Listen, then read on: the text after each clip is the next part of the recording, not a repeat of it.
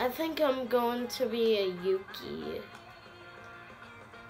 To the people I don't know who Yuki is.